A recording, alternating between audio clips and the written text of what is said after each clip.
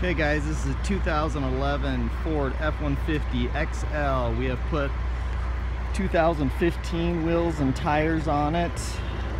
Um, we've fixed, uh, replaced the cab and the bedside.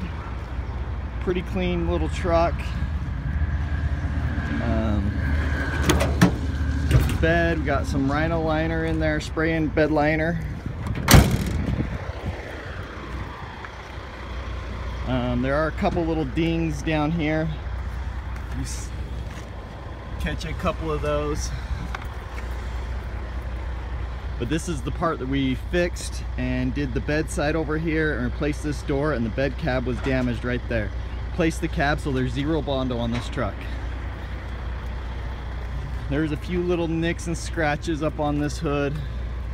If you look, that looks like that wiped off. Looks like a little bird poop on there little nick there on that bumper there.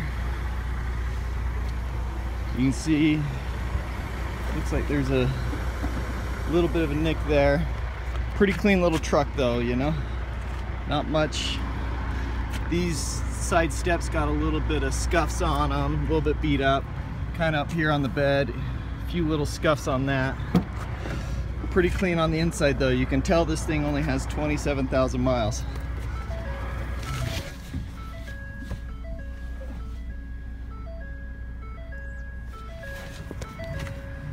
Start it up. AC's blowing cold.